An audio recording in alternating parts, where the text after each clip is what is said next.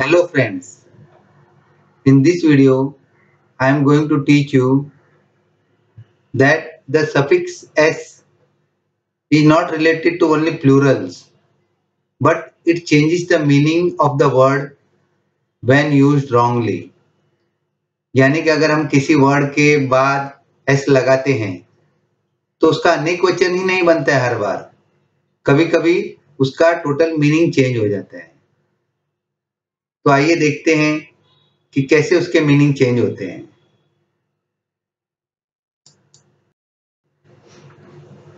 Difference with S this we don't use S and apostrophes ये हम एफस्ट्रॉप्स के तौर पर नहीं लगाते हैं।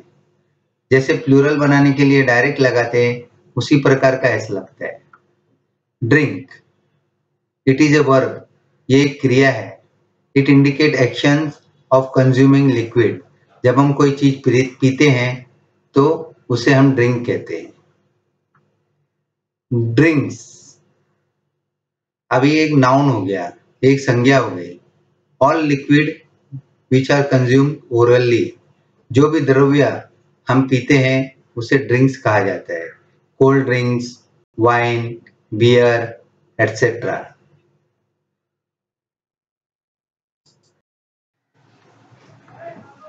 water it is a universal solvent ये सब जगह पाया जाता है it is a noun water एक संज्ञा है पानी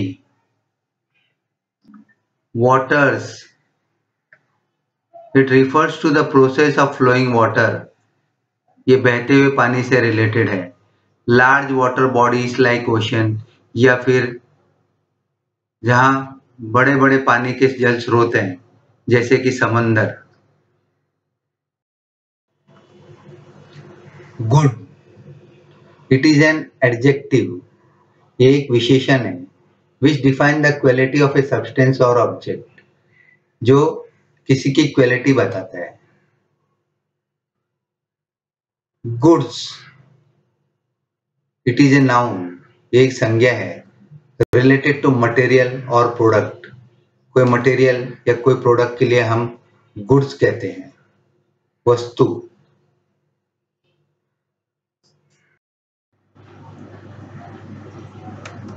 लुक देखना to see look at the picture look at him उसको देखो। दूसरा होता है looks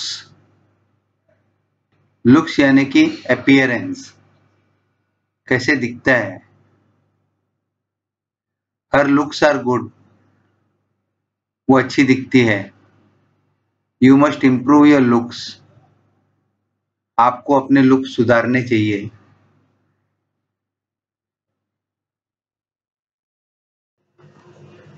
Arm. It is a part of body ये शरीर का हिस्सा है extending from shoulder to the wrist कंधे से लेके और कलाई तक, इसे हम आम कहते हैं।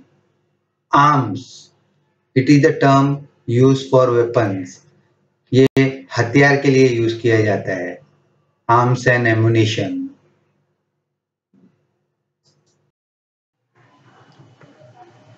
right it means correct. It is an adjective. Right person, right thing, right time, rights. It is referred something legally permitted जो हमें कानूनन मिला हुआ है या जिसे हम हक कहते हैं you must fight for your rights आपको अपने हक के लिए लड़ना चाहिए।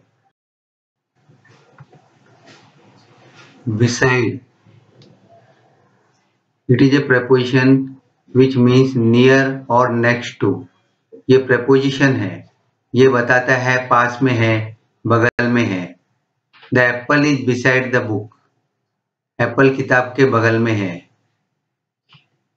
बिसाइड्स इसके अलावा it is a preposition which means other than ये भी प्रपोजिशन है, लेकिन ये बताता है इसके अलावा besides train I can travel by aeroplane train के अलावा, मैं एरोप्लेन से ट्रेवल कर सकता हूँ।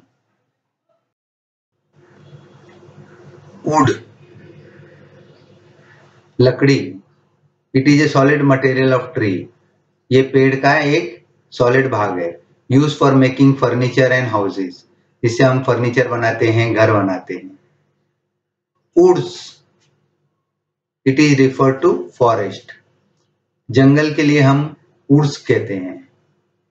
तो लकड़ी को हम वुड कहते हैं और जंगल को वुड्स कहते हैं। आयरन, लोहा। It is one of the widely use metal. एक धातु है। Use for making buildings and machines इससे हम बिल्डिंग मशीन वगैरह बनाते हैं। Irons it refers to an instrument utensils weapons etcetera made of iron जो भी लोहे की बनी चीज़ें होती है, उनको हम आयरन्स कहते हैं। जैसे बर्तन हो गए चेन हो गए, कोई हथियार हो गया तो इसे हम आयरन्स कहते हैं। New it is an adjective ये एक विशेषण है। Use for a recent origin और फ़र्स्ट टाइम थिंग नई चीज़ों को हम न्यू कहते हैं। न्यूज़ समाचार, खबर। It refers to the report of recent events हाल ही में घटित होने वाली घटनाओं को जो रिपोर्ट आती है, उससे हम न्यूज़ कहते हैं।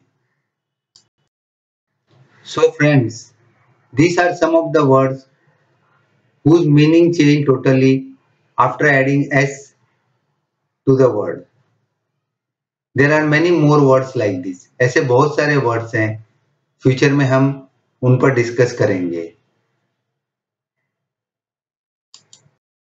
friends if you like my video subscribe for it share it with your friends and don't forget to like it and comment on it